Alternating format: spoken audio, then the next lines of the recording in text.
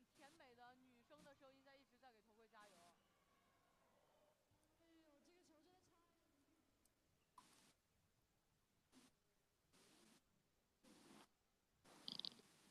OK OK，这样两个人还是僵持在一比一平啊，这个对抗也比较激烈，双方的体力也有点有点下降，体力确实有点下降，两个人打得非常的累，头盔哥已经一身的汗了。咱怎么着，两个人哎，发现两个人还有互动，让你投啊，放你投，突然投哎来这边呀被预判到了，被预判到了。单太实诚，就是这种让你投你就投啊。但是他这个时候也是露出了这个丰收后的喜悦啊，跟裁判还是不能较劲啊，尊重裁判判罚啊，还是一比一，打了四分钟了。这边选择亏区的中投，对，这个球其实大人有擦到，有冒到。直接发力，毕竟健身教练体力不成问题。头盔其实挺不对的，说实话。呃，等一下，先以波波那边为主，好吧？我这好像出了点问题，等会儿。就是这视频一大，我一拖，它容易卡。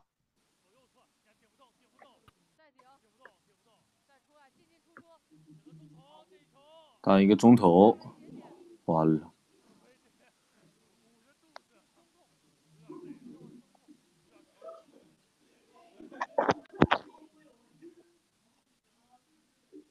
我可以看得看得出来啊，我们头盔哥跟大恩这场真的打得非常焦灼，五分钟过去了，两个人还是一比一。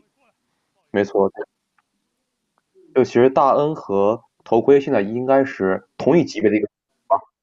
对，没错，而且他们两个确实还挺有的说啊。之前在综艺上面，两个人也是嗯，没错，啊，专门有镜头，对，把他们两个的对决也是，呃，怎么说呢，比较戏剧化的展现出来了。是五分是吧？现在是。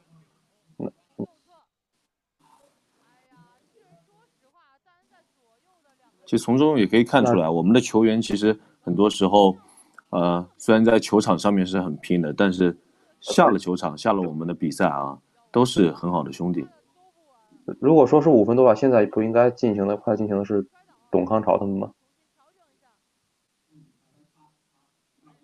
哎，这个球又被包了，这个球还是被大人擦到擦到了。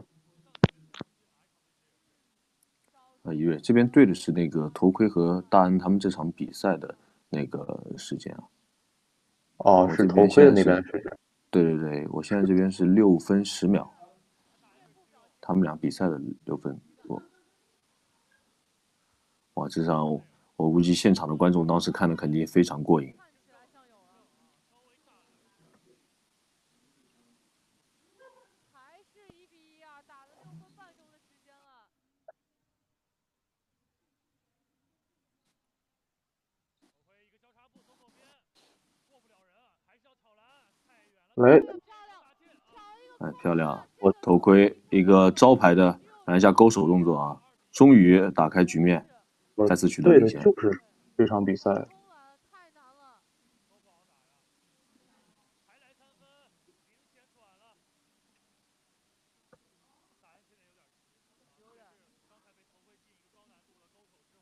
哦，我看到弹幕里面这 but but butterfly 在现场，很羡慕了，很羡慕。那个时候我还没有加入路人王呢，那个时候我就只能够在呃电脑面前跟大家那时候一样看这场直播。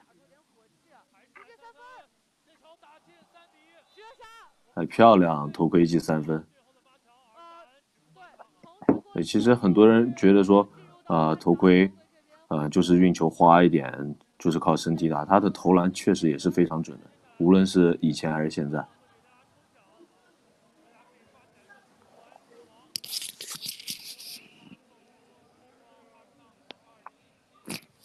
大家可以看到，我们上面啊是我们的啊、这个比赛的大的一个组，接下来要进行的是败者组零四的比赛，那么是我们败者组的四十九、五十、五十一、五十二四场比赛。以前也准，他其实从那个 S 一一六年的时候参加我们路人王的时候，他就已经很准了。当时也是有幸啊跟头盔一起参加过路人王的比赛，所以可以看出来，只不过那个时候他不带投三分，他基本上是呃三分线内一步，中远距离中投。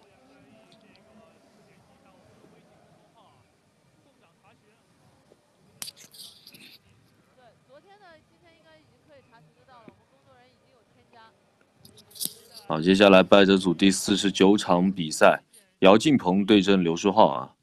刘书浩其实现在大家还是可以经常看到的，我们的小树同学。啊，姚劲鹏呢，那个时候其实呃 S 三的时候也是认识他的人非常多，啊，秃鹰，碰到他的人都非常难受，因为身高太高了，很难打。对，这是我们一七年十一月份的月冠军赛啊，一七年十一月份的月冠军赛。那么在这边呢，我们也是跟大家一起回顾一下我们经典的比赛。好，我现在回来了啊，刚刚确实啊，果然还是在村子里长大，所以这个网速稍微有点问题，现在回来了。其实刘书刘书浩和我是一个地方的人啊，我们俩都是新疆人。前两天大家也是过生日的，当时因为这个特殊时期，我还说这过生日这吃的蛋糕怎么这么大？他说是空投过来的，空投过来的，哎，对，空投过来的。我看蛋糕也完好无损，高科技就是厉害，现在高科技。对，现在其实说实话，你要过个生日啊什么的也挺不容易的。对，没错，就是如果说是今天过生日的话，那更难了，四年过一次。对。啊，卤蛋，我看到有人提了卤蛋啊，卤蛋现在去哪了我也不清楚。但是当时这场比赛其实卤蛋也非常可惜，因为我们当时对月赛分两天嘛，第一天卤蛋的表现非常好，而且还有击败头盔哥，把头盔哥击败到败者组的这么一个表现啊。哎，对，是是，六中六，对。但是在第二天我们到比赛场地热身的时候，他是把自己的脚给扭了，所以说没有能够参与我们这一天的比赛。对是，所以说他在今天的这场比赛啊，就是第一个对手章子怡是直接晋级进到下一组。对对对，其实是是这个胜者组和败者组啊，其实不光是败者组，他打的场次比较多，奖钱奖励的这个钱也是不一样的。像胜者组其实赢一场是奖两千，败者组累死累活赢一场是只给一千块钱。是的，是的。但其实但其实奖金本身也是很多了，你看打几场比赛挣好几千块钱，嗯我觉得这也是对，这也是激励我们的球员啊，多练球。哎，对，没错，对，是对，有这个比赛越打到后面，呃，特别是到决赛，你越会发现你在胜者胜者组啊是有更多的休息的时间，以及更多观察对手的时间。是姚姚劲鹏是他三冠王啊，当时他是在这个 S S 二和 S 三赛季是拿到的三冠王，他一般是只打杭州、合肥和南京。是因为我也是在杭州嘛，所以当时呃有一场比赛也是在我家旁边，呃我也现场看过。呃对说实话有点恐怖，他这身高配上他的臂展，呃一般人就无法在他面前完成进攻，无论是上篮还是投篮。那其实波波给他这样的一个评价已经是很高了，因为波波也是虎扑上写这个排行榜上写的，你也是杭州站拿过五强的这个选手。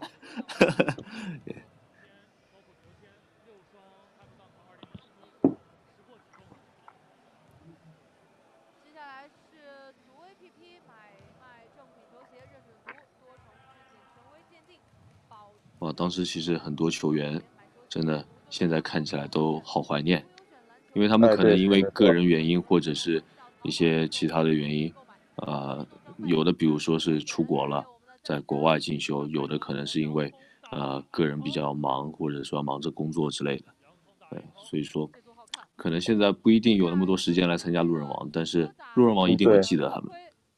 没错，就是其实路人王的成就，贼高，然后实力很强，对对对，卤蛋好像也是职业电竞选手，对对对，嗯没错，哎，我我怎么觉得安玉鹏打谁都不容易呢？真的吗？因为他这种打法可能是让你感觉有点累啊，但是他体能又比较好。就感觉他打谁到最最后都不是非常轻松的出手，对没错而且卤蛋他身高这么高一个身高，能够有那么好的运球，确实是非常不容易。对，没错，包括那个时候，其实这个双呃双败淘汰的这么一个赛制啊，其实有很多人在呃一九年也是跟我们提到说，啊好希望这个赛制能够回来，希望说能够多看一些呃球员在场上的表现，不然的话，万一两个大家都非常喜欢的球员直接碰到了一起，呃直接输了就淘汰一个的话，对，其实还蛮可惜的，对。是现在咱们月赛的这个制度，其实就感觉是，如果说今天真的是状态不好，或者是其他原因，那其实就，呃，可以说是基本上是要拜拜了。但是当时如果说是双败淘汰的话，还是有救赎的机会。对，但是说是要面临嗯，这边要提醒大家的一点就是，我们新赛季，我们二零年啊，等到疫情过去以后，我们总决赛之后，我们新赛季，我们双败淘汰的这个规则又要回来了，又要跟大家见面了。所以说。也是响应大家的一个号召。对，嗯，路人王最爱卤蛋，他一直穿着音速三。对我到现在我也有一双粉色的音速三，就是卤蛋这一天穿的那双。我一直觉得音速三是一双神鞋啊，就是属于性价比非常高。用身体打洋葱防是防不住。哎，伊瑞，你有没有什么比较喜欢的篮球鞋？嗯，最近刚买了一双鞋，是，哎，我想想，这个品牌是不是咱们路人王的合作品牌啊？哦，是的，刚买，对对对，刚买了一双安踏的那个龟仙人，你知道吗？应该龟仙人我知道，我知道，对对对，对对对对对，那个很好看，哇，七龙珠也是我们小时候的回忆，是，对，对，双鞋真的配色太好看，对，主要是很骚的感觉，对吧 很骚，所以适合你是吧？呃，也不是，主要是喜欢龟仙人嘛。这个鞋很适合龟仙人，我也比较喜欢龟仙人，所以说拿到了它。对对对。对，这么碰这么碰巧，其实现在很多店因为实体店没有办法开门嘛，所以说比较优惠一点。现在入手还是比较实惠的。对。但是也要提醒大家啊，我们现在疫情呢还没有过去，所以也是希望大家能够呃，在我们复工上班或者说是。呃，偶尔出门采购的情况下，还是要做好防护工作。对，是，毕竟安全最重要。对。这次人家不说了。这场比赛其实，啊，当时我我看这场比赛的时候，我其实是没有想到洋葱哥能够跟安云鹏打的这么激烈的，因为确实这个身高以及身体上面其实差很多。对，而且其实两个人，呃。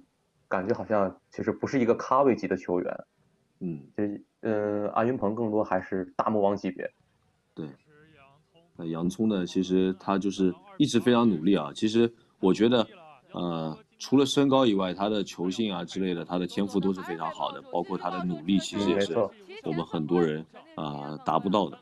对，所以呢，他也是在一九年成功圆梦啊，三年终于圆梦，在路人王夺得了北京站的冠军。嗯，对，没错。就关于洋葱哥是如何励志的故事，可以问百科、百度百科，也可以问一下小汉堡。也可以在我们的鹅黄聊球里面啊，我们鹅黄之前对对对对对，专门找了洋葱哥做了一个鹅黄聊球。对，哎呦呵，哎，是洋洋葱哥为了防守这阿云鹏啊，的确是拼尽全力。对对，双方是刚到了最后。其实这个时候，我们安云鹏他的手腕上面还是有伤的。没错。机会啊，安云鹏确实这边手腕是有这个伤病的，这两天也一直在喷药啊。像其实这个时间段，安云鹏是刚在呃美国特训回来啊，也是。嗯。可以可以可以。我觉得很多时候看球员，呃，怎么说？看球员他自己的一些呃呃历程，就可以看出他到底有多热爱篮球，看出他对篮球对这个有多上心。很多非常热爱的球员，他们是自己会花时间去找训练师，去找训练营，哎，对，他们去提高自己。是像。像比方说去美国特训，其实之前美去美国特训，好像我们觉得都是职业球员，像易建联呀或者是孙悦这种级别球员去特训，但其实现在很多像民间的球员都会去美国进行特训，毕竟那儿的这个训练方法，嗯是比较科学的，有助于提升。啊，包括其实，呃。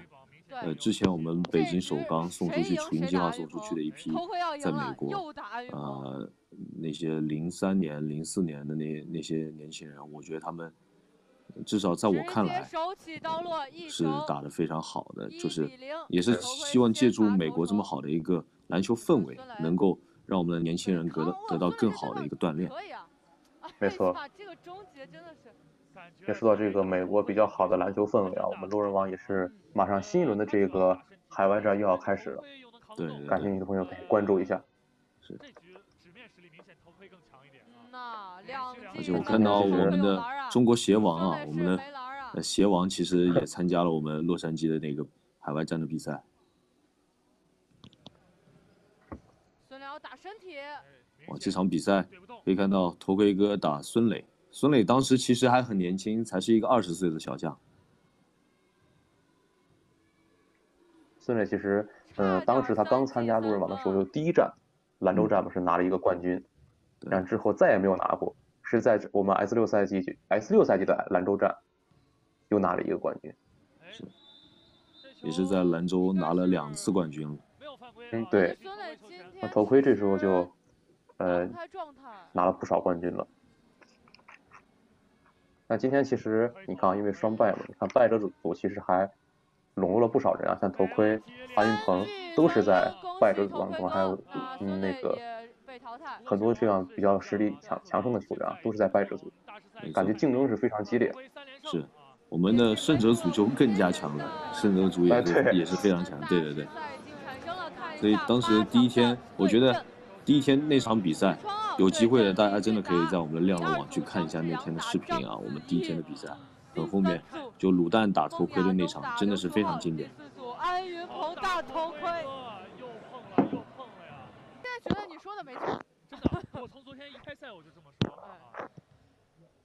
这两位都是各自大学的核心队章子怡，到目前为止因为他的对手受伤，所以他到现在还没有上过场，不知道今天状态怎么样。加上城市赛，呃，到现在没有。其实这天我们之前的比赛也可以跟大家说一下，还是蛮有意思的。到现在为止，嗯，许川傲之前碰到就是在这个月赛里面碰到了大恩，大恩拿他完全没有办法，呃，同样是怼派这个身体上面这个也形成了一定的压制。然后后面安云鹏碰到了徐传傲，也是发现完全扛不住徐有人防得传傲这个身体力量。而且没有人能我记得当时，呃呃，Gary，我记得这场是 Gary 和安妮说的嘛他们还在说，对，没错，对，对许传傲这个身体确实是非常的好，感觉他可能是当时防守上面也是属于，呃，一线的，就是在我们的有了洛王手上可以一线的。可以可以对，其实，在单挑当中，这个防守还是非常重要行没事。打就打，进了就行。对，竞技体育其实很多时候还是拼身体嘛，身体非常重要。没错，对，身体其实也是天赋和能力的一部分。那徐点传傲，嗯到这场比赛为止啊，徐川傲当时在城市赛还没有输过。人家哪对是鹅毛？当然，另一个完成这个壮举的是章子怡。转身，对，章子怡她到现在她也是北京站的啊八战七冠王。对，对，没错，有进步，比之前进步很大，尤其是篮子方面。我觉得章子怡她对篮球的这种以及对胜利的渴望，也是值得我们很多人去学习的。好多次了，那场上非常拼，为什么叫对？为什么叫他拼命三郎？就是因为他每个球他都争，就真的非常拼，防守非常认真。我们场下有多好的关系我不管，上了场我就得跟你拼。对，大哎呦戒啊！这一球二比一了，拿什么什，么叫 CBA 高水平核心？就是张志尧和徐创，这个看到那天李俊达也是摇头啊，真的扛不住真扛不住徐川啊。是也是是打进漂亮二比二了。这个靠着身体。其实大家打球的时候可以不仅关注我们啊哪个球是进了，或者是李他的进攻选择怎么样，我们更加可以看一些小细节就比如说他突破过了半个身位之后，他起跳是去找一个身体对抗的二，平有机会了，就这些细节都能够帮助你更好的去完成李那李俊达个终结会。不会送徐传傲手办，看一下，这是个问题。对，弹幕也提到对章子怡是我们 CBA 选秀训练营的单挑冠军。可以投三分没球，错，打进三比二，三比二，恭喜李俊达，哎，这个三分硬啊，这个三分硬。送给徐传傲手败。这都是顶着头进的。史上首败啊！许而且当时我们还有啊、就是我们呃导播组自己给的给的弹幕，连胜我们有啊、三杀是呃三杀四杀，我们刚看到那个呃李俊达这边出现了太多 quadra kill，李俊达不管是在场上对没错还是在场对，要是是林峰的话还有 perfect 他都会研究对手，包括他爸，包括老李。都是记忆当中非常感觉非常亲切的感谢老李。对，看下一组就是章子怡和张志阳。是的，打一开始，老师拿第二，慢慢慢六连冠到现在啊。对，看到弹幕里有人问李俊达多大，二十四岁，二十四岁，九三年的。对，今年刚毕业，是河南大学的。对，但是他是呃连云港人，在河南大学念念书。这两位也是我们后来总决赛的常客啊章。子怡，我们在后面总决赛的比拼上面也会有看到啊他。陆陆王之前有二李啊，那张子阳这时候实力榜是排在第四位啊，但其实他这时候，嗯，是夺了四个冠军。其实参加路人王的时间在这些球员里面，这个时候并不算特别长。对是但是当时其实很多人就觉得张志扬他有一点非常厉害，就是他的终结，呃，他的终结能力太强了，甚至有人在讨论他的终结能力是不是比当时的李光阳、比李锐他们要更强。来看张志阳这次来到那这时候其实张志阳是这个时候张志阳还是要往里其实是用速度，不是把三分当成他的常规武器，更多的时候还是中投或者是往里突。对这样的话，但是这个能力侧部的中可贵现在现在三分已经是张志阳的呃防得一个非常到位。对常规武器了。拿手好戏，基本上是。对，之前张志阳还拿了我们国际上面一个三分冠军啊，这也是第一个在国际上面获得三分冠军的我们的中国人。还真是。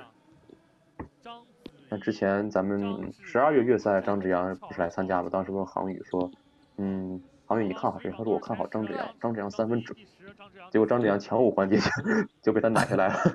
还是中投，所以说我们真的奶这个东西非常玄学啊非常玄学。我觉得啊，这种这种高难是度的宁可信其有，不可信其无对像每个球员下面，呃，这个头像下面，有的他时候是他的这个虎扑 ID，有的时候是他现在所得奖金的一个总计啊。呃，对现在章子怡和张志阳都是如果我所我所没看错的话刚才应该都是6000块钱来自面板左侧的因为他们都是胜者组拿钱会快一点。白色球衣的是章子怡，是面板当时这场比赛当时的实力榜第一学的队长平常心孟亚东也是被打到了败者组哎。，我觉得 Gary 那喝酒了。哎，刚说到我觉得张志阳那真的上个月就是十月月赛的时候，孟亚东是冠军，战胜李四张志。阳无敌。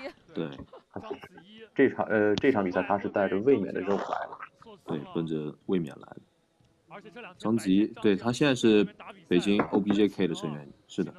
哇，这个冲击力也非常强啊！但是张志阳给的对抗也很足，在对抗之后，还是章子怡的这个终结能力受到影响。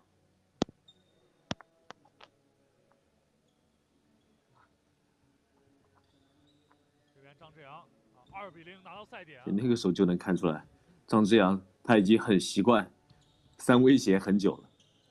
对，对，当时我们一次进攻，大家可以看我们后面后面的那个牌子上面，一次进攻其实我们的时间是三十五秒。但是看起来弧线还是很正的啊。传给了他女朋友和现在的我们的进攻时间二十秒还是有比较大的一个区别的就是因为当时呃很多球员可能说呃会借用这个时间更多的是用来休息，或者说是啊呃怎么说呢，给双方一个喘息的机会。但是对于我们观看来说，可能这个体验感会稍微差一点。所以我们嗯把这个时间限到了二十秒呢，既是一个可以方便球员更好调整自己状态的，又不会让观众觉得说，哎，这个时间太长了，一直停顿在那边，嗯，会观看的有点不太舒服的这种。这球还是放进三三比零啊！张志阳零封章子怡我，还看到我这个张志阳也是来夸张 kill 啊，山西大学的首发对分位啊，奖金是积攒到了八千块钱啊。太强了，太强了！确实厉害，确实厉害啊！那有时候实力就是金钱胜者组决赛，大家知道李，旭拿接下来谁再赢一场，直接进入最后决赛。我觉得张志阳在场上真的是宠辱不惊，稳扎稳打，就从来没说过进什么进球的时候浪过，就从来没浪过。哎，这个时候我有点想说。好，下一组是孟亚东和刘书浩。啊，嗯不能带。他甚至比我刚刚也是趁机。刷了一下朋友圈，发现刘书浩更新一条朋友圈，他在应该是在和家里人吃饭北。京站的啊如果说我目测不错的话，应该是长胖 了。对，对，毕竟宅在家很难不长胖对对对对对。对，是你，而且还是现在嘛，呃，当然胖了。对胖了不少小树对阵平常心，路人王组的对比他们强啊，我觉得这个不好说啊，因为呃欧北京 K 他们是经常在一块训练、一块打球的，这个默契程度来说不太一样。嗯，对，对而且另外就是，其实到了他们这个水平，很多时候呃决定谁胜谁负，更多的还是当天这个人的状态以及那场比赛这个人的状态这。边自己有一个运球的失误谁状态好，能发挥出来自己的更多实力，那可能谁就能赢。对抗的运球能力啊，否则这种我们看到这两天非常多的选手对抗一对抗直接掉球，运不稳，直接中投。这应该是十拿九稳的球。对对对对，对，其实这种空位的中投，平常心还是比较准的。实力榜第一对实力榜二十四对决啊，一个掏球，没办法，手太长啊，不是这个球为什么放弃了呢？有机会追上，真的。对啊，这个球自己放弃了。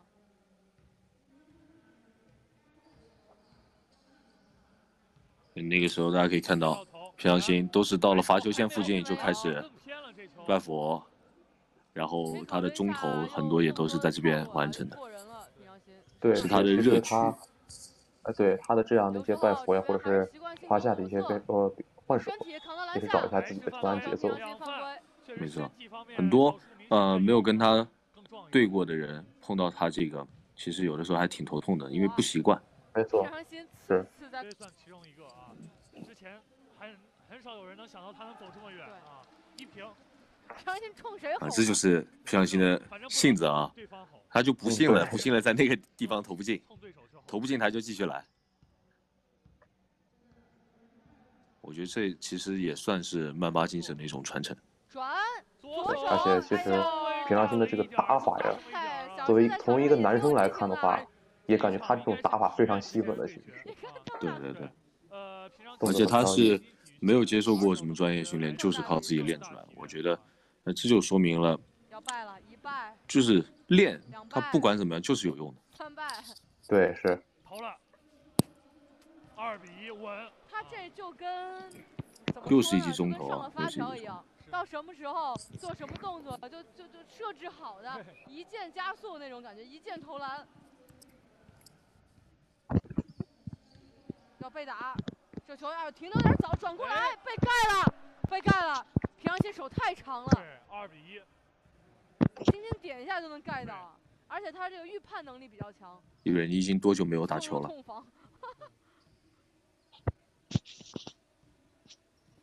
什么时候不让出门的时候，应应该是从不让出门的时候开始。对，应该就是二十二号、二十三号开始吧，应该从上个月。还是投了哇，那也一个多月了。对其实当时本来想就是回家，刚刚回家之后呢，就说很很多东西都没有吃，很多东西都没有玩，说没关系，反正过完年之后初一初二有的是机会。结果没想到就没有机会了。对就没有机会了 对没错就直接过去了对本来年前我也是，我还想着说，啊，正月里面有时间，趁着这段时间有假期，可以啊出门玩一下。后来这这个疫情出来了就，呃完全打消了这个念头。。罚球线的中锋没错太稳了，毕竟首先一是嗯需要响应国家的这个号召和领导吧，因为现在确实特殊时间嘛。对对对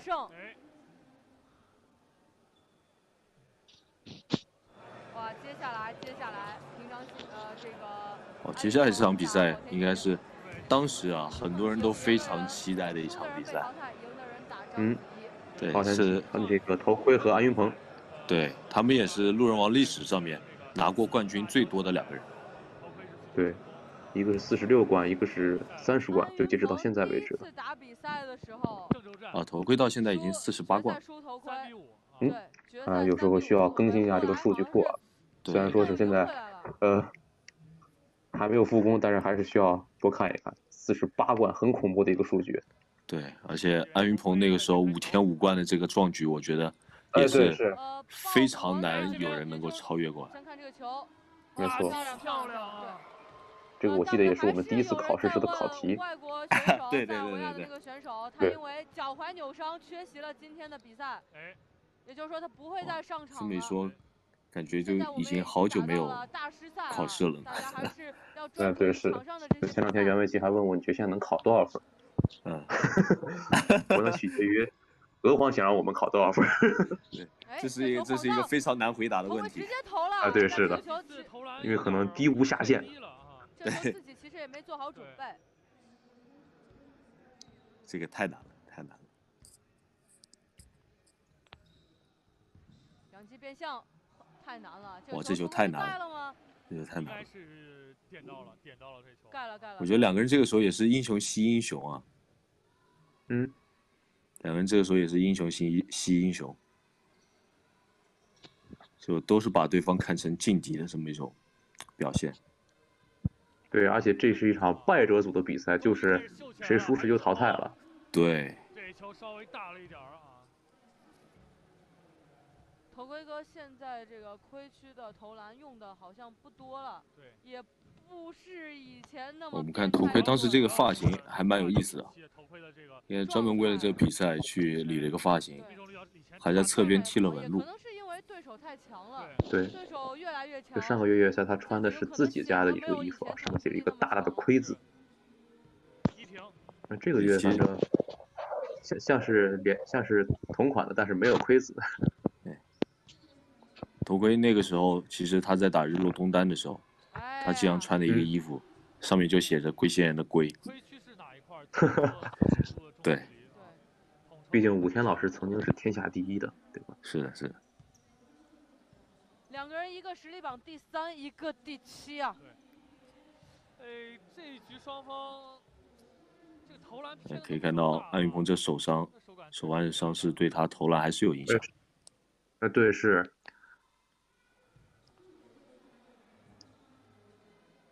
尤其是这个手呀，如果说是这个手部受伤，的确投篮还上篮，确实非常影响。还是在四十度。因为投篮的时候还有，力度防的也很对不错啊。你会发现这压腕可能都成问这题。球稳了，这球有了。对对，都得重新把握和调整哦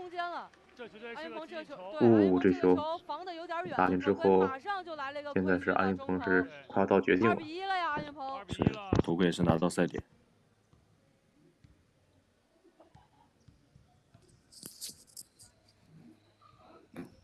鹏走底这球找到空间，漂亮！二平了，二平了啊！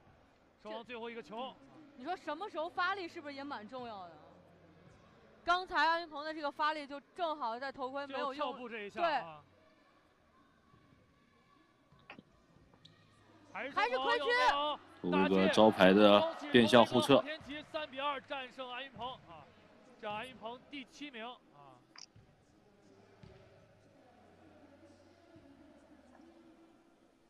也是英雄惜英雄啊，双方非对常熟啊悉。，两个人也都很强啊。这其实又是在实力榜上以下克上，对，头盔第七，安玉鹏第三，对。接下来继续赛车比赛。哇，他这个镜头也是给到当时场边啊，场边来看这场比赛的人也是非常的多。我刚看到我们弹幕里面有一位观众当时是在现场，看一下能不能找到自己。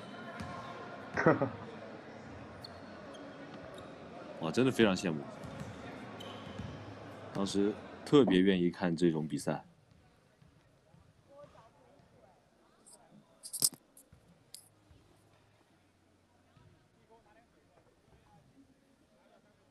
好，我们继续看，依旧是败者组比赛，双方谁赢谁进四强。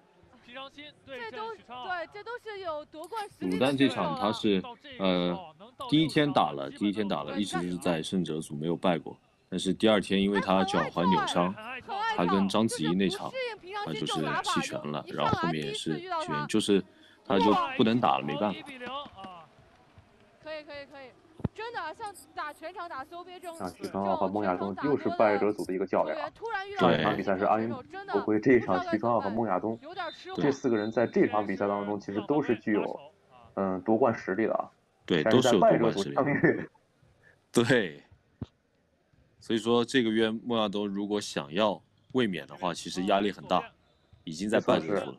顶这个确实具体谁是冠军的话，对抗哦差大家可以去查战绩当然也可以，我们慢慢回顾这场比赛防。都防不住的感觉。对是，对，对互克互克，真的互真的互克啊克。本来败者组他这个赛程就比较密啊，他现在今天是十六强没，有人敢说一定能对。而且其实很少，应该在我印象里好像是3比0啊很少有从败者组最后打到冠军的。我这样说，徐超是的是的是的，像我还记得以前，因为我们呃路人网经常有日报、周报，哦，那个时候谁要是从败者组一路打到冠军的话，哇那是真的的。绝对周报。对对对对。但是安云鹏他是经常干这样的事情的，把自己打到了败者组，然后打上来。选手不适应。对，很明没经验明显许昌第一次打平常心，对对对，不适应打法。啊，这么说起来，其实我们呃，二零年我们新的赛赛季啊，我们新赛季，呃我们进了八强之后，我们进八强之后，对跟大家呃大概说一下我们新赛季的这个比赛规则。我们的小组赛是按照类似于强五现在我们的冠军排位赛强五的规则来的。八强赛开始，我们双败淘汰制胜者组呢是打九分，败者组是打七分，啊，所以说还是有不一样的地方的。选择一个打板，这一球，这其实是他的点，啊，看到也是平常心非常惯用的招数啊，在我们右侧十五度角左右的一个地方，看似随意的抛打板，但他的命中率其实非常高。往里怼，又是一个直接被刀断。呃手伸长啊，对，这就是我们路人王十月冠军边是徐赛的冠军。春浩是往里怼啊想就是有对这就是被刀掉了。双方实力榜都是前十啊，对，对，现在的弹幕都是大家现在发的，都是第一不是浪得虚名啊，真的是有实力。对有张志阳，张志阳现在还在顺着哎，又想跳，哎，这边开始真的是是有点痴狂，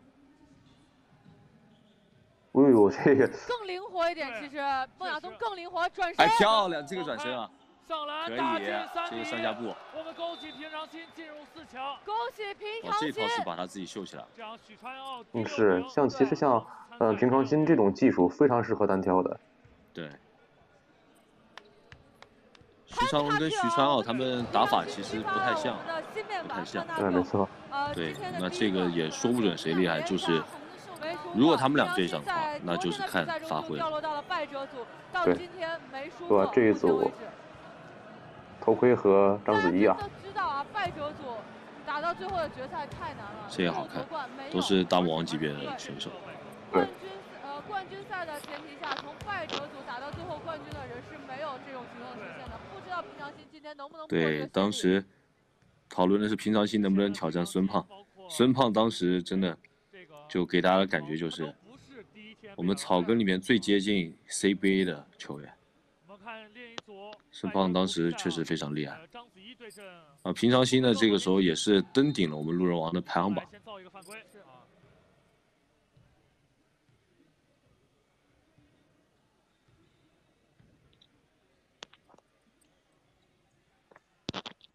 这边章子怡选择走左路，太快了，这速度。哎呦，子怡这个第一步真的快，核心啊，没错，而且跨的也非常大，而且跨的心终结是不是就跟核心是对等的？我平时经常一一块儿打野球、打接波的队友，呃，他有一次在比赛里面跟子怡有碰到过，两个人身高差不多，但是子怡他这第一步，他说完全防不了。太快了。速度他能做的就是看着他上来又。祭出了他的面部防守。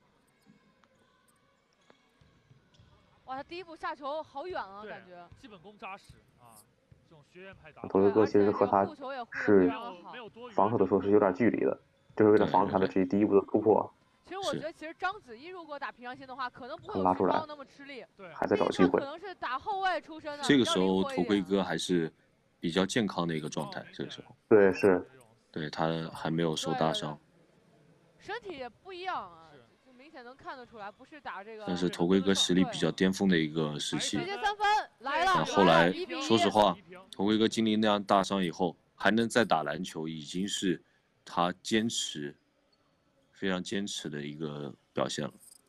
选择三分，还一个，也有顶啊，二比一。对，章子怡在实力榜排名第十位，不仅在许这边昌奥后面两位。各进一记三分。对，对观察一下章子怡的三维斜路人王最多就是头盔四十八冠。实力榜排名第七。当时我们打的是球数啊，跟现在不一样，现在是打分所以三分就是三分，两分算两分。但当时打的是球数，三分和两分包括罚球都是算一个球，所以很多人呃为了命中率不一定会去选择投三分。而且他防守太对，没错，就现在的这个规则更适合于三分手。每个动作做的都像在教科书一样在教你怎，然后一个对对，啊做的非常的标准，观赏性很强，很好看。要冲了。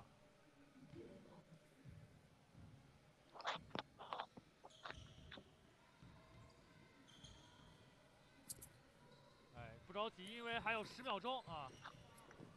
哎，这个球，啊，这个球我感觉有点动作，好像没有没有做出来的样子，撤步右脚没有撤回去。对。啊，这个时候头盔哥心里其实也挺紧张的，因为自己已经两个球了，而且很难防。是。还是短了。章子怡这边防头盔的三分防的也是比较的，不错的啊，对，比较好。头盔有点迷信自己的三分了、啊，是的。这头盔可以尝试一下被打转身勾手啊，毕竟走左边一个阻挡犯规，对，头盔这边三第三次犯规，太快了，这第一步啊！而且章子怡有三分，你还不能放一步啊，很难防。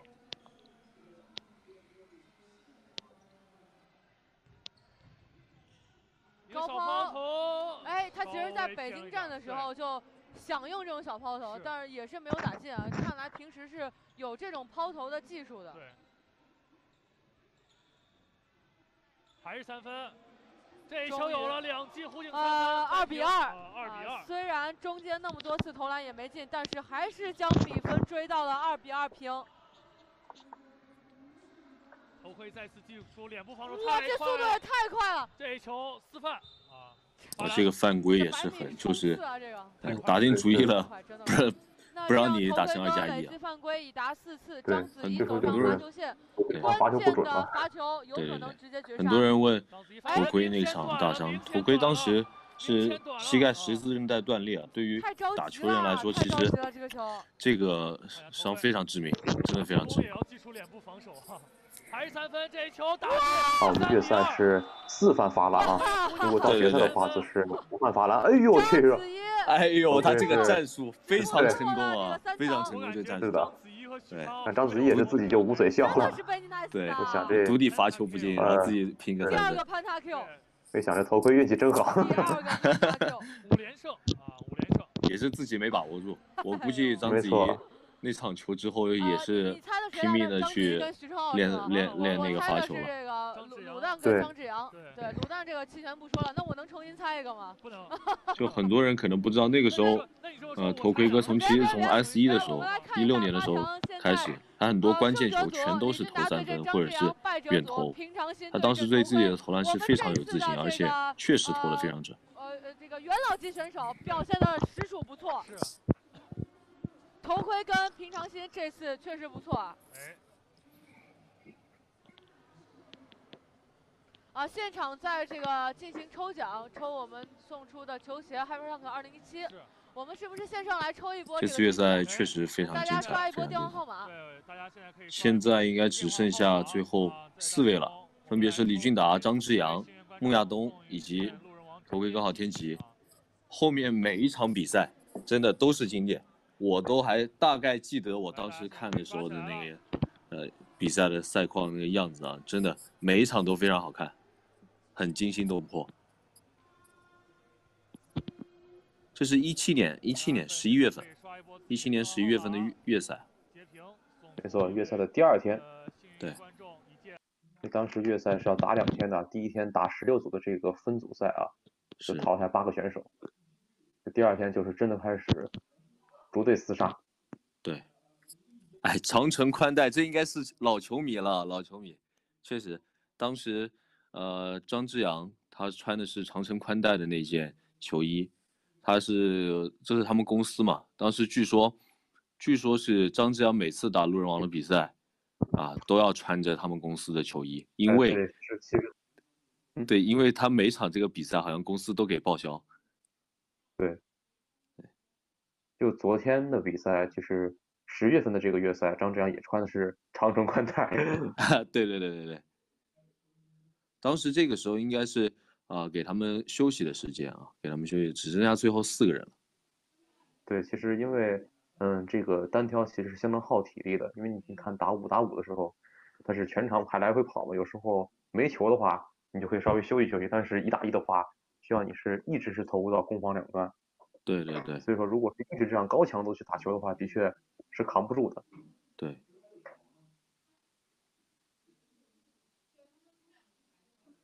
这个大家可以看到，这边右下角写的上海九点零一分，这也是当时那天我们的这个时间啊。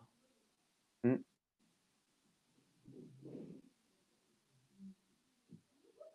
为什么给大家放上海这个外滩的景象？就是因为，啊、当时这场比赛其实是在上海举行的。那个 NBA 那个场馆外的那种其实我们跟大家一样都想看，都想看比赛，都想看比赛但是当时确实是现场也要做互动，然后呢，也要给大家我给我们的球员一点休息的时间，毕竟他们每场比赛这个身体对抗非常强。头盔二啊对对对对是，而且刚才这连续三场比赛都是这些那个呃这个金达24冠军级别的球员去打这些比赛，所以说每场比赛都是火星撞地球，还是非常激烈的。的也其实也是为了视觉考虑，给观众一个喘息的时间。是的，是的。怎么加入虎扑团队？你来投简历啊！对，然后那个呃鹅黄鹅黄出的题每个月要考过八十分 对，可以也可以加入我们的主播团队。对，男生考过八十分，女生考过四十二分。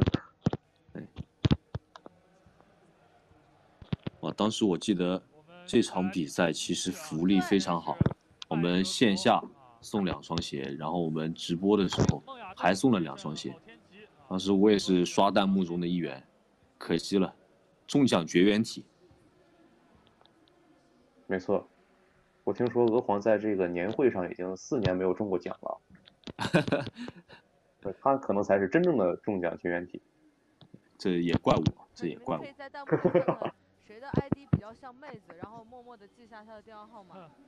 我们其实路人王已经成就了所以这次月赛还有卤蛋，前面很多人都说想看卤蛋，但是卤蛋只有第一天打，打铁，第二天因为受伤热身的时候受伤了。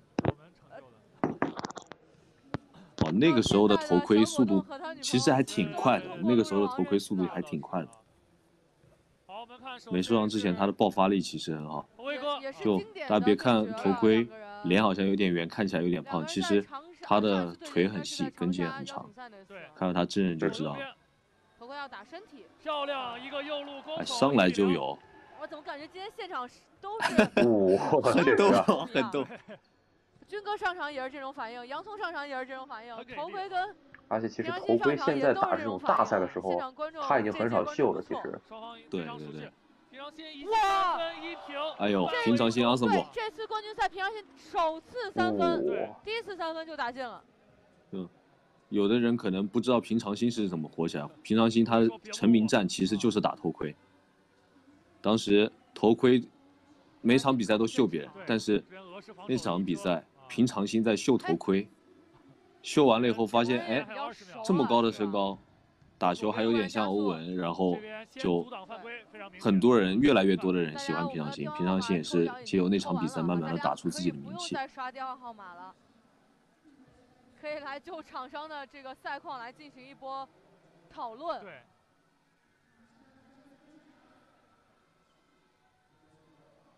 选择弧顶直接三分，稍微大了一点儿，这球啊，稍微大了一点儿啊。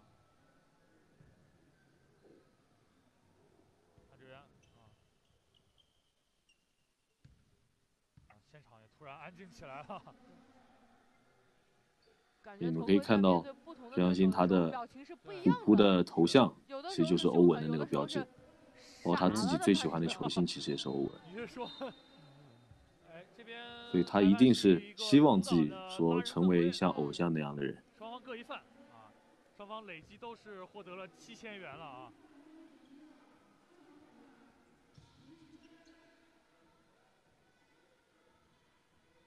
我们的冠军哦这个角度大家可以观察一下头盔的腿啊他的腿其实还挺好看的对，没错。其实如果你只看下半身的话，就一会觉得这上半身应该没有那么健壮了。对对对对对，确实 是是有一种长腿欧巴的即视感 是，跟其他选手比起来，没得比。差距比较大。对但其实你看啊，你就算看他整个人的全身的话，就算感觉他上半身这么健壮，其实看整体，他的腿也不短的对对对是。嗯，有些人穿这种篮球短裤，呃，一站的话，其实就感觉确实就是四六分成，还真不是五五分，就腿是四的感觉。嗯，对对对，这边也是头盔在合理利用进攻时间，直接三分收集到。哎呦急停这三分啊！趁平常心不备啊，马上一记三分球。头盔已经有日子没赢过平常心了。平平常头盔已经有日子没进步了，感觉。平常心还一个三哎，分。平常心不要被带节奏啊对，。有点被带节奏了啊。我们卫冕冠军平常心啊，我们从来没有过冠军赛，从来没有过卫冕冠军啊。平常心这边的防守也上强度了，刚才的两记，又是三分，哇，稍微这手手顶着头差一点点。稍微短了一点。对，平常心其实两前面两次让头盔进进球啊，有点让他太轻松了。对，走右边。一个踏空步，身身体有差距。对，不会吧？他这个时候要在零度角投吗？感觉要打板了是吧？不会吧？我总感觉来到哎，他熟悉的这个位置，可能要用抛投了吗？感觉要打板了。哎，果然打板，打哎果然果然啊，这个点是真的准啊！果然果然打板我去果然打板。这是长时间的一个手感和记忆啊。对，这边最后一个球了啊！对，问他在这种关键的时刻用这种新招数哦，来蝉联月冠军的月赛冠军的其实不只有张志阳啊。还是犯对，没错，这个题我们考过的，对对对对对，对吧？对现在拿过最多月月赛冠军的是金野！对，没错，三次。对，三次身材。比例好，所哎以他也蝉联过穿什么都好看，每次都有人 而且那两次，其中有两次真的太长了，印象特别深，感觉是翻版，转身过来都是对都是他冠军白金对亚军合理利用而且都打得非常激烈对，因为非常关键的二比二了，这个时候谁进谁输谁就被淘汰了。所以平常心包括我们19犯规用的年才刚刚啊伤后复出的马克，也是拿过两次。头盔哥在六月拿过冠军啊，所以说这应该是我们累积的第五次冠军赛对。中中投投又是短了一点点，短了一点嗯，啊。平常心还是有机会啊，还是有机会，真的真的。但是我觉得其实现在对头其实也盔来说，他不断的有更需要这次啊优秀的比赛的球手胜利。加入到路人王球员的行列当中来参与我们的比赛。对，呃，包括白金19年、李直，嗯，对，都对白金、李直都是一九年出来的，之前可能都没有走进大众的视野里面，要我肯定不敢，都，是非常优秀的球员。感觉要中投，不会。还有李汉桥，对对，李汉桥，李汉桥这个三分也确实是，这个真的太准了很折磨人啊。李汉桥和李直嘛，前段时间，就前两天啊，我看，嗯，咱们给他就是有定位，一个是库里，一个是汤普森，直接就有定位呼吸，最后投出那一瞬间，而且他那出手是真快都，是这种感觉啊。没错头盔开始挑衅了，哎，头盔这摇头晃脑的，感觉要用对这是上情绪了。头盔肯定会打嗨了两个人应该也是比较熟的，应该啊对对对球员其实都很熟哎拉人犯规注意安全那这样啊当时平常心四次犯规了，头盔哥要罚球了。哦，天哪！罚球，每个人的球风不一样，打打急停干拔的其实，呃，像打铁，包括现在李佳伟都是这种球风。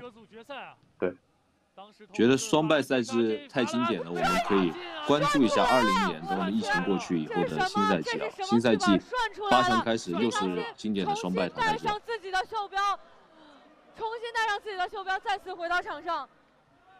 这真的是这个剧本写的，每次两个人的对决都要这么有戏剧二性，比二啊，已经六分半了，现场已经嗨起来了。现场都开始起哄了。还中投有没有？有了，打起来，哇！投出去直接不看了。哦，这球啊，这球帅气是。的，对。这句话进的话，阿里纳斯；不进的话，尼克杨。再次输给了平常心，再一次真的太打击了。你真的是装的一手好逼。没错，但其实另一方面也是展现出了他对于自己手感非常自信。昨天对，投出去就感觉到了。掉落到败者。其实很多人打球打多了以后都会有这个感觉，有的时候球一出手就觉得知道了这球应该是有。这个李俊达和张志扬的败者。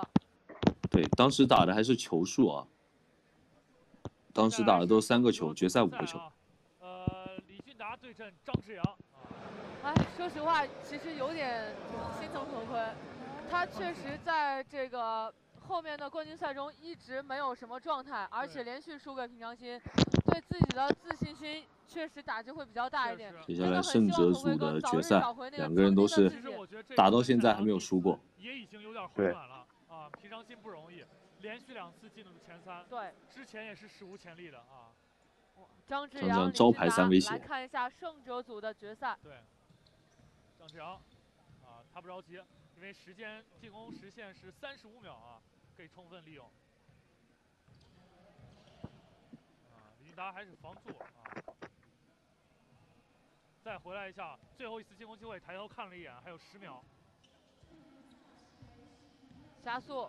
上篮，没问。打到最后的时间打进去，漂亮。哎，这个其实，这个球进的挺杀人的，就是都已经防到最后几秒钟了，被打进。不说话。哦，路人王场上的井柏然、张子阳。哦，我一直觉得张子阳长得哪像哪一个明星啊？对对，就是想起来了，对，确实是有点像井柏然。对，姓张名伟，字一达，绿洲先锋李佳航，这个 ID。很厉害，对，很厉害。对，说你是不是暗恋大力？对，没错。怎么看第一天的视频？你如果是想看我们路人王刚开始视频的话，你可以啊。进亮了网，亮了网，然后它有一个比赛视频，然后你点最后面，我记得是两百多页，你点最后一页，就可以看到当时的视频。对，如果说想看哪一个球员的比赛，可以去排行榜，点开他的这个头像，上面有他参加的每一场比赛。来打路人王跟张志扬一战。对。李俊达完全。哇，这个球不容易，不容易。这球硬啊，这球硬。对，是的。而且李俊达真的之前已经停球了，连续点了好几下。也是核心力量跟身体都都已经到极致了，才能打出这种球。真漂亮，真漂亮。啊，其实张志阳他在路人王的资料里面就有，名字后面就跟着路人王井柏然。看来果然还是复习不到位啊！说每次都怪不得每次都考不过，title 都不会背。还有十六秒。前段时间我们路人王大号王江江也是跟张志扬连线了，哎，张志扬，大家看他在场上打球，好像都根本不会笑，没有表情，像个冷血杀手，哎，但是他其实平时还是很有意思的。对，打身体。一个放篮大家如果想看我们啊路人王跟球员连线的话，也可以。啊，关注路人王篮球的抖音，我们的抖音上面啊也会有预告，什么时候会跟哪位我们球员连线，啊，大家有什么想问球员的问题之类的，都可以啊在直播的时候问他们。我觉得他独一种进攻啊。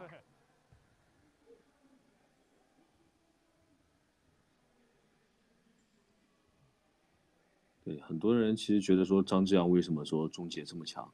其实这都是核心，核心练好了，在对抗下终结的能力会强很多。对，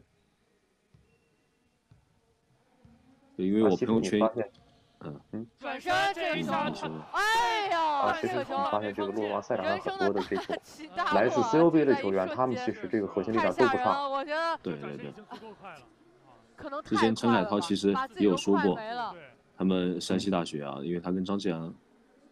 都是一个大学出来，他们教练非常注重他们的单挑能力，都是让他们平时在练单挑的。因为其实，嗯，CUBA 这种还是五 v 五篮球为主，就打到最后真的是关键时刻，那其实真的不是说要走战术什么，真的是看各个当家球星那种单挑能力是非常重要的。对的。我朋友圈有很多篮球训练师。然后，呃，也会发一些训练的视频之类的。那很多可以看到他们是怎么练核心，怎么练对抗后的一个，啊，一个一个一个上篮投篮。他们会在篮下先是呃勾一个，勾完了以后到篮的另外一边拿起我们另外一个球，把勾的那个球撞开，然后再二次发力把球打进，或者说是上篮的时候啊先用球打开。啊，训练师手上的那个柱子，泡沫柱子，然后再把球打进，就是有其实有很多训练体系，大家如果想提高的话，啊，可以多去了解一下这方面。最极致的那种水平，尤其是李俊达，这么远三分啊！现在 CUB 的人还能进 CBA，可以可以进的。对，姚主席政策好。没错，就是其实校园篮球很多人。他们其实实力真的是不亚于 CBA 的一些新秀。对。要冲，走右边。我当时非常喜欢的一位球员，王红，当时太原理工的我们的控卫啊，也是当时 CUBA 的第一控卫吧，应该是。我一直非常喜欢他，他现在也是在我们的 CBA 里面，我觉得还打得挺好。一个交叉步，还是转身。像现在。我们往进的说就是王少杰嘛，也就是泽别出来。我旁边的这个编导人员在说没了没了没了没了没了，还是很懂球的。这个我我来即兴的采访一下我身边的这个蒙面蒙面这个我们的导播人，你觉得这场比赛谁会赢？对，李俊达。我们的导播人员觉得李俊达会赢啊。真的吗？超远三分，这么远。哎呀，被你奶死了，真的是，哎呀，你你就差这么一点。你这个老刘真的是啊，活生生被你奶死。对，王宏在江苏打出来了。张志阳其实有，他现在也是有啊常规的一个轮换时间，那确实打的还挺好。确实不敢投。李金达明显是放了两步啊，张志阳可以投了吧？不敢投啊。咋不敢投呢？投篮那么准。你看，充分利用时间啊，还是在左侧四十五度啊，还在这个点找机会，还是转身。但是这个球没转过来，还是犯规四犯了。这样的话送张志阳罚篮。哎呀，他这个真的是非常激烈啊！三个球，那这样对打到六分半钟还是二比二。其实这个时候谁要是输了去败者组打平常心的话，哇，那是真的体力上面是一个难题。对，没进啊，没法进啊。李俊达都懵了，李俊达都懵了，你看到没？还没进吗？秀标杀，哎，对，又起作用了。这个李俊达真有机会啊！张志阳真给机会，张志阳估计这球要玩命防了。对，真的，李俊达还投三分，还投，哎呦，有点迷信了，一到一个偏大，一个偏小啊，一偏有点偏短，刚才这球啊，真好看啊，真好看。双方都挺帅的。嗯。还有这个球啊，最后一个球，二比二啊，谁赢谁先进决赛啊。哇，李军那也是在用心理战术，说你投吧，你投吧。张志阳篮子还挺准的，在在那个杭州站的时候，呃，投一个有一个，投一个有一个。这关键时刻是真不投啊！他又慢慢的挪动到了左侧四十五度，一个上篮，这一球，这球又是被帽了。我觉得张志阳这几次进攻有点太犹豫了，想的太多了。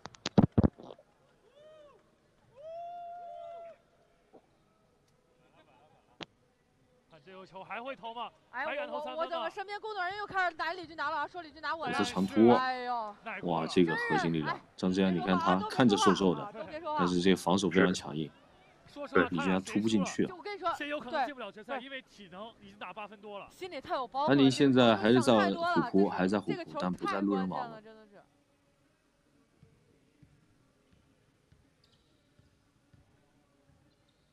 看一下，就最后一个球了。好防，好防！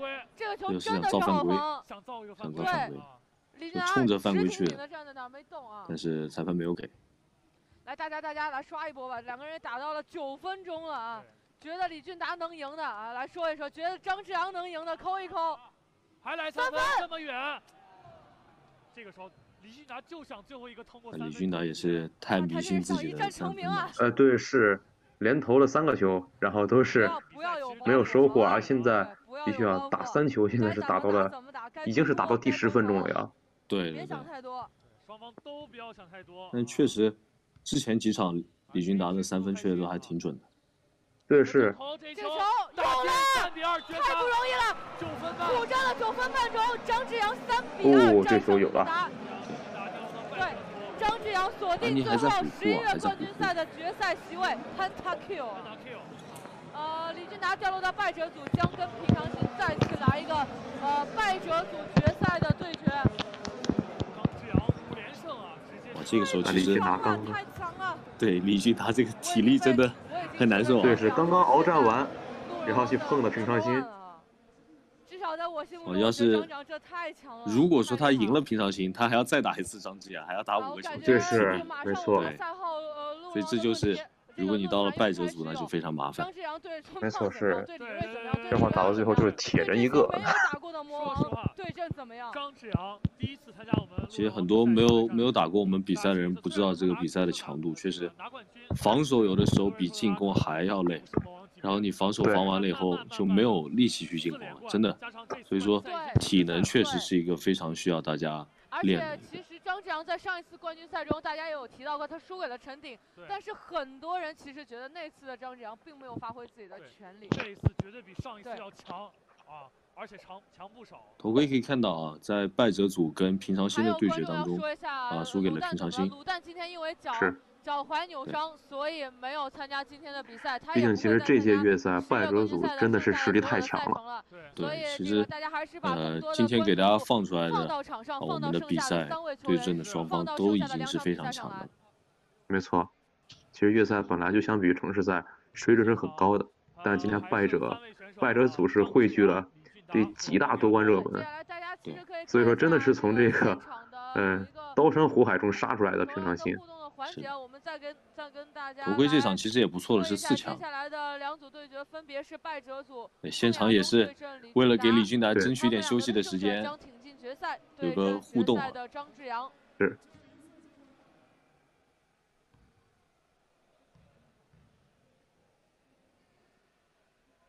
讲道理，我觉得其实每一次冠军赛都有不一样的剧本，对，呃，都有不一样的精彩的点。讲真，我觉得平常心能在玉蕊跟你说个鬼故事。嗯，好的。太难了。是的，是的，是的。我直播的手机现在还有百分之一的电，我不知道能不能撑下去。好，那一会儿如如果说只剩下我一个人，请一定不要，请一请一定不要害怕，因为波波是去换下手机。对对对。我会尽快连上来，如果没电了，大家可以在亮了网看啊，就在亮了网我们比赛视频里面都可以找到。嗯，大家可以根据时间去找之前的视频，也可以根据我们的分类。呃，有人问这个李俊达是哪个学校的？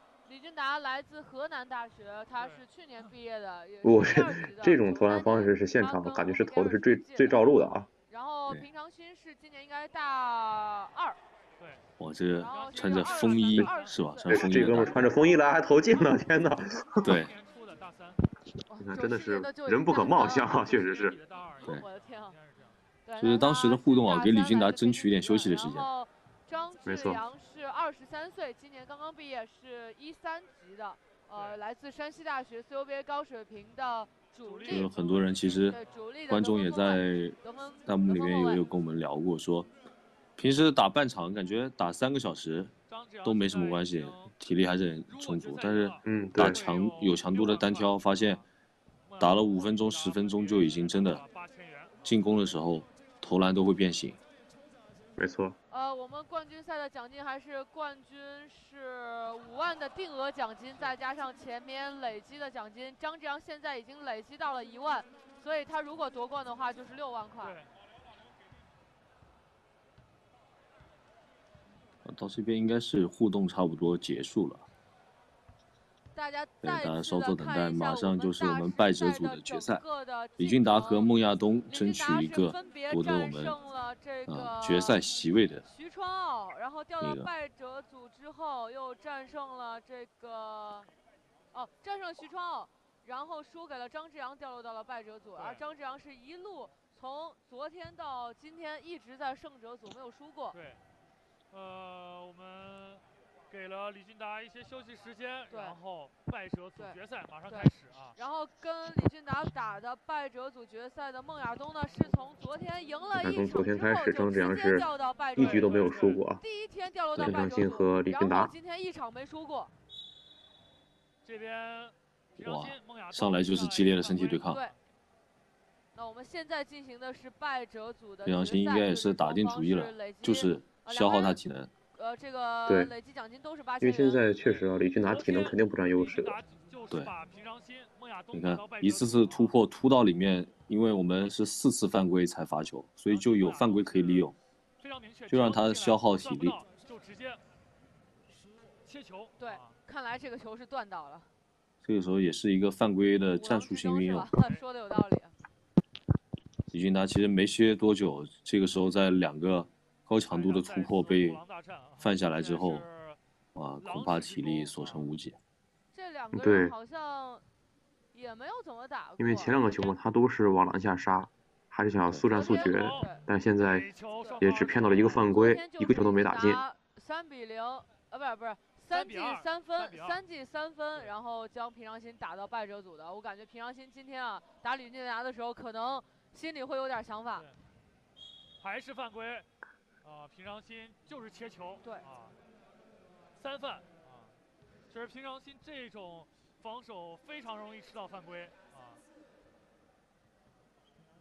李俊达身体确实很壮啊，现在平常心已经是三犯了啊。哎，这球一个撤凳子啊，没问题。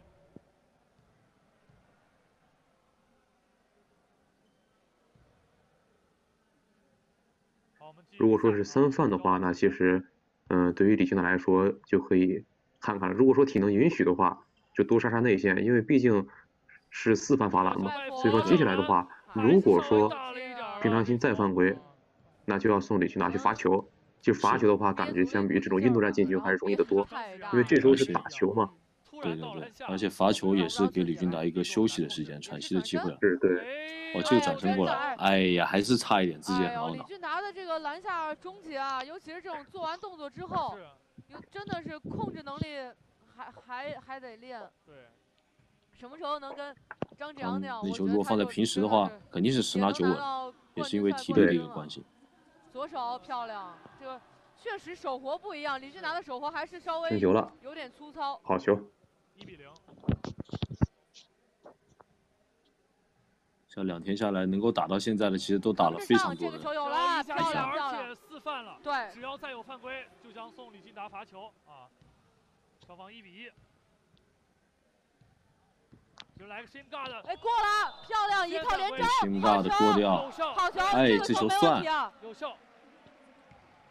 这样的话，对孟亚通二比一拿到赛点啊。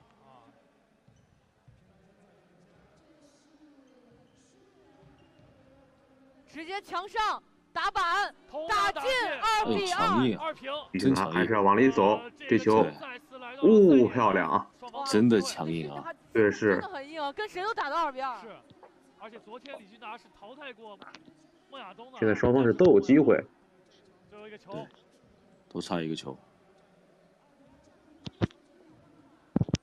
在亮了网就可以看之前路人王的比赛啊，在亮了网，打板有没有？有嘞！哎，招牌招牌，，啊，不愁。对，被孟亚西多冬是哦漂亮啊连续真的是利用自己的这个右侧高抛打哦板战李俊达也是胜对手，没错。心如再次死灰。对，一是累坏了，真的是，面板八连胜啊！而是可能现在确实有些有心无力了。因为如果说是体能充沛的情况下，肯定表现的会比现在更好。对，一直没有输过的张志可以看到阳对阵孟亚东。首先是张志阳开球啊，先握个手啊，先握个手，张志阳其实很闷骚，我发现啊，先握手。张志闷骚。阳刚开始也非常友好啊，打之前先握个手。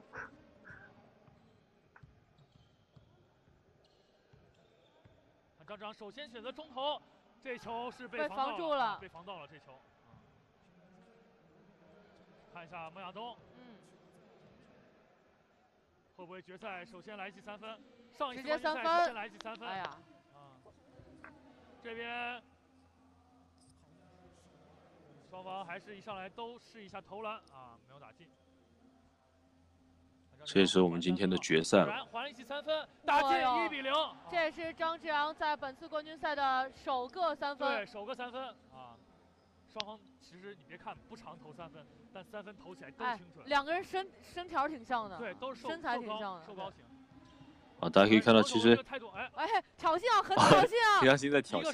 对，过来。可以看到张志阳其实对平常心这个打法非常不适应，因为平时以前接触的 CUBA 的比赛里面没有这么多，没有这么多拜托。对对，就如果说 CUBA 敢这么打，估计教练立刻就换下来。对。你看俩人说一直说，哎，你你过来，你过来。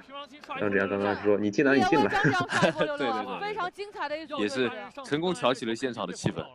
没错，毕竟现场观众看那就是确实看热闹不嫌事儿大，就是肯定是一直在欢呼，对吧？对对对。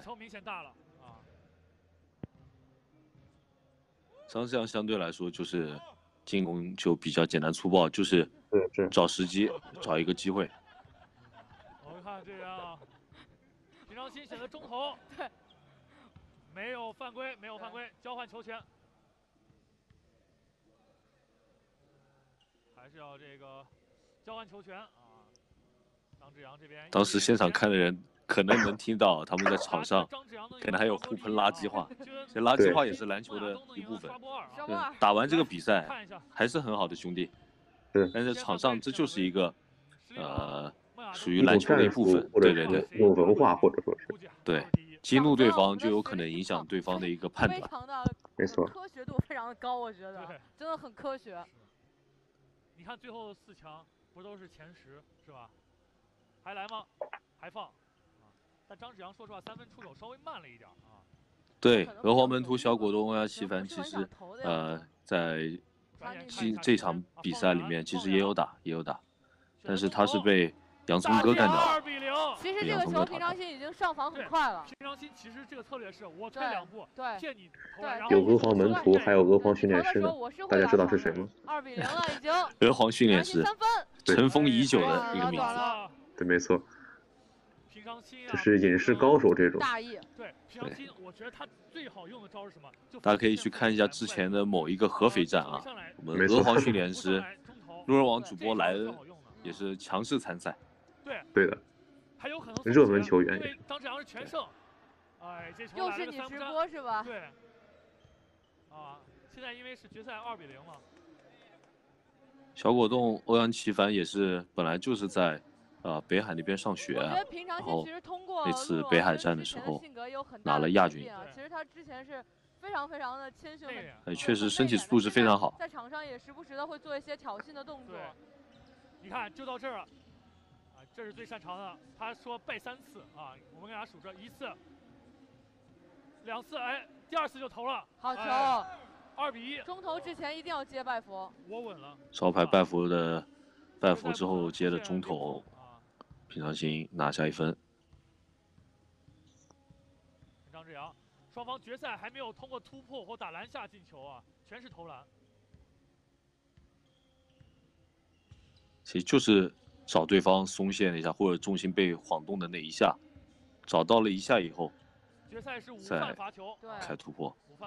但是大家防守其实都不太吃慌。剩了最后的十秒钟，张江转身又是转身再上一步，哎，这球漂亮，两犯啊，造成犯规。张志阳如果这场其实我对张志阳的防守印象是更加深刻的，因为，呃，张志阳其实很不习惯平常心这种经常拜佛的打法。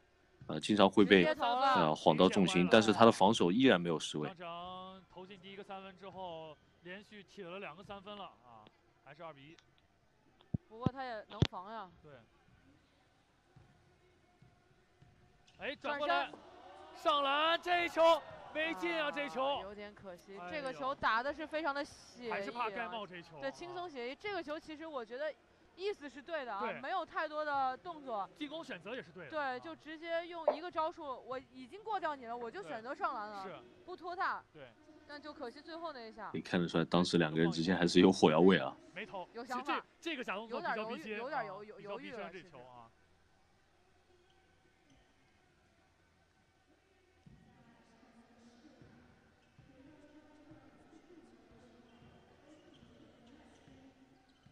觉是不是还会要投啊？因为突破确实都没有什么特别好的机会。抬头了，抬头，哇三比一今天的主播是波波和伊瑞，四十五度，张志阳是波波和伊瑞。这个张志阳，嗯，今天打的也是比较谨慎啊，对，因为今天这个进攻时间三十五秒，决赛四个钟头，到现在就是找不到空当，他也没有冒昧的去出击前。三个球全部投篮，一个突破没有。是孟亚东现在已经落后两分了，对，要好好的思考一下这球必须打进对了怎么把拉回来哎来，呦，被这球拉回来直接抢断这个球，争球，应该是当时应该是争球。啊这是什么？哎，这什么体位？这个哇，这个动作，就一定要所以说除开比赛本身之外除开比比赛本身之外大。家的关系都还是非常好。嗯，没错，你还记还记得在杭州站那次头盔跳舞，张志阳跟他趁机一起跳舞吗调戏一下。真的是平常看起来面不改色心不跳的。呃，人家张志阳女朋友还在呃楼这个不是楼下，在场下看着呢，是吧？呃怎么不应该啊有有人说发什么弹幕？张张太禽兽了是吗？对这个不应该。对啊平常心我平常心才二十岁啊，你干嘛？真的是。直接来三分，哎，偏了这球啊！女友绿了，没想到是这种结局啊！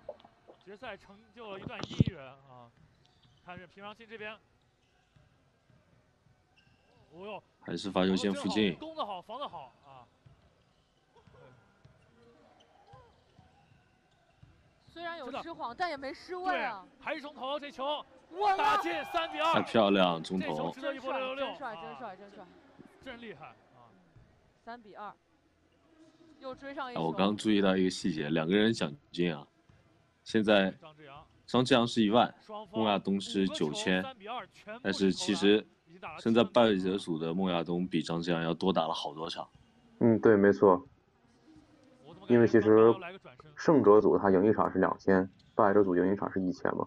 对，尽管说孟亚东赢了也不少，但确实这个奖金的差距啊，现在还是啊落后一点对的不过其实拿到冠军和这个亚军的话，还有额外的一些奖金，像嗯月赛这时候啊，第一名这个额外奖金是五万，第二名就是两万。所以说，如果说平常孟平常心把张志阳打败的话，那立刻就把这个差距啊对给这个逆转回来所以一场球差三万啊，一场球嗯差三万。是对我看他群里说，上午打三场，下午打两场，哎，不知道是半场还是全场。太变，态了，这个体个能太体力变态就是我们路人王的奖金一直都还是比较高的。对，对，包括我们二零年新赛季，大家可能不知道，我们城市赛的奖金啊提高到了一万，每场一万所以也是希望大家可以啊，在大学的多时候还来参加是原特特别是我们有能力的球友、有能力的 GRS 啊，确实长得挺帅。可以来冲击一下我们的奖金。这边陈长青选择背越啊，陈长青又耍起来了，两个人都长手怪，对手长脚长，一直不失位啊，真的好防啊！拉哇回，来，拜佛晃开。哎，这我球操，这脚一球，哎呦被防到，差一点，差真的一点，攻的真的这应该差一点。是有点滑。防然后的更好，更防的真的是更好，这防守被晃成这样还不失位。啊。真厉害，真厉害运球找节奏啊运球肯定是找对方什么时候重心会被点起来。我觉得这对个可能是学不来的，可能真的是练出来需的，久经沙场练出来的。中中投，投，哎呦，还是没打进啊！这个时候，呃第一是体力的问题，第二就是身体对抗对，所以也会影响一些进攻他们的防守并不不是说是你看3比他2张志站在那儿，你一步就能过。你过去的时候，他会给你一个很强的一个身体对抗。比赛已经差不多来到十如果说重心没有点起来，深突的话，确实非常难。哪怕你身体有一定的优势，也不是那么容易的。拜佛，拜佛哎！这个时候张志阳想上墙，平常心一刻都不能大意。其实这样防守非常非常过了，过了，挑哎篮。这漂亮啊先拉人。张志阳吃到个这人的右手的一个犯规啊，才单手拜佛啊，其实确一实 in and out，可以合理用一下犯规。这条篮没有办法犯规啊，可能他已已经不需要犯规了。他可能觉得我能防住。啊对他的防守真的是又干净又利落。连续的变向，这个真的防的厉害啊！感觉平常心又要秀起来了。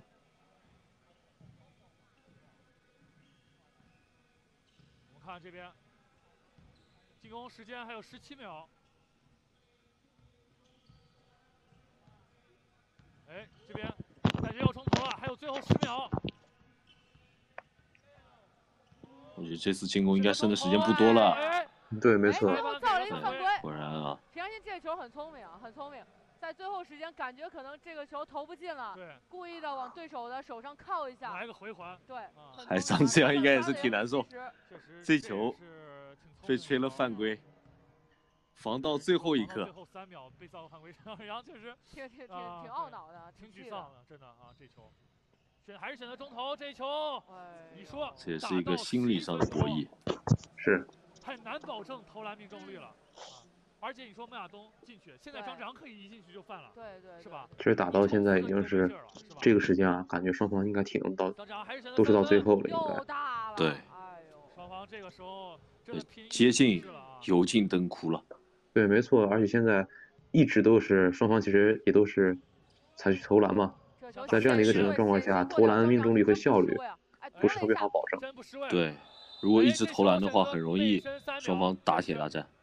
对，啊这个球是平常心的背身我看一下这边应该是交换球权，张被打了一下脖子但是张啊，平常心边过去捂着自己的这个用同样的姿势，胸口啊，应该捂着自己的胸口倒地了，不知道是喉呃这个脖子这脖子应该是喉咙啊，应该不小心，对，应该是不小心平常心有对肘到这个哎张志扬的喉咙，我刚刚可能是在这个转身的时候，可能是手肘部分打到了喉咙啊。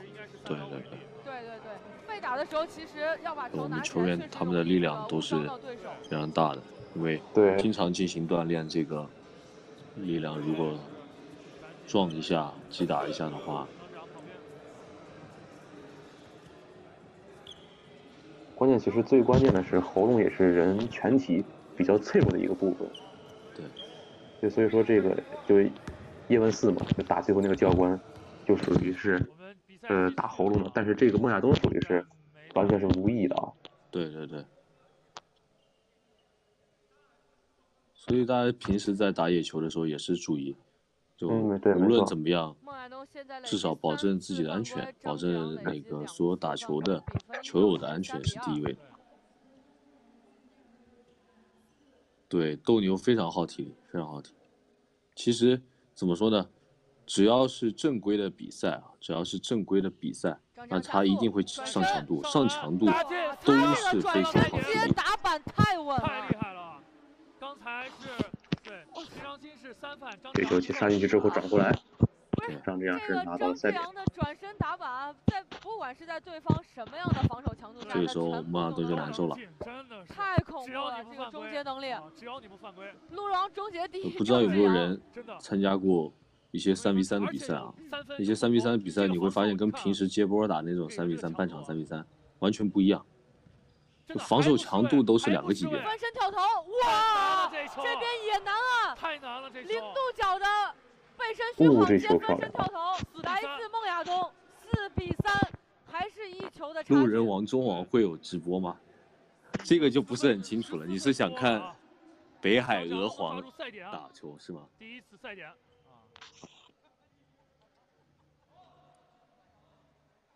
张呃平常心说投，张志阳摇头，我不投。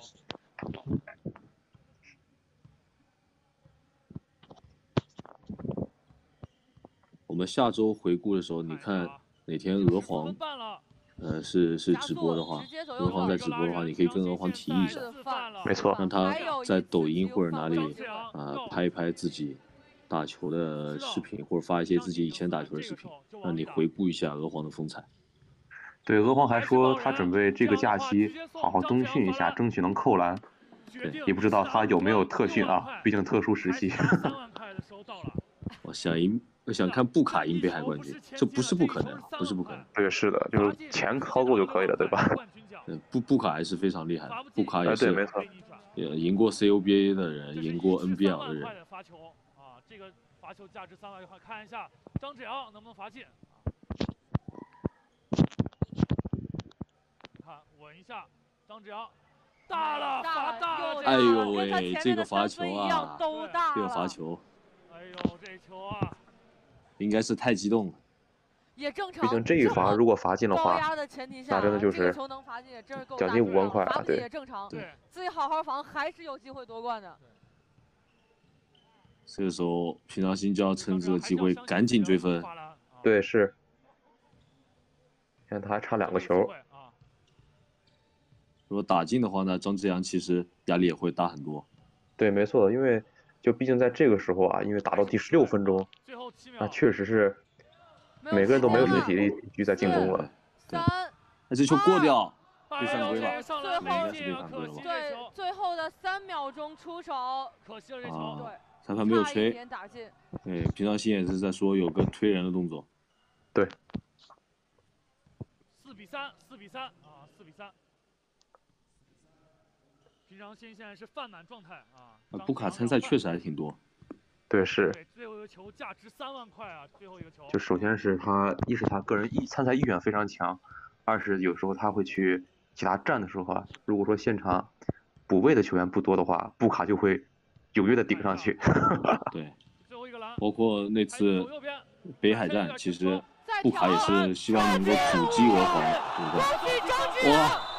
张志阳绝杀绝杀，对漂亮啊！这球，这球哇，蛮难的，不容易，真不容易。对，连续的转身之后，对，让球上进，夺冠之后也是发出怒吼。没错，这也是张志阳第一个大赛冠军。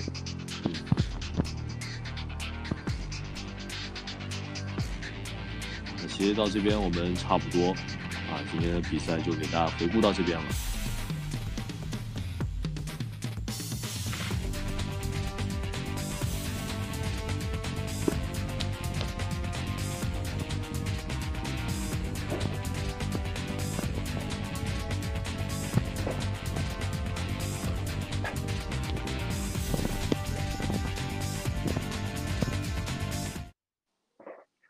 今天我们是共同关注了这个 S 三赛季十一月月赛第二天比赛啊，共同见证了张志阳首次夺得大赛冠军。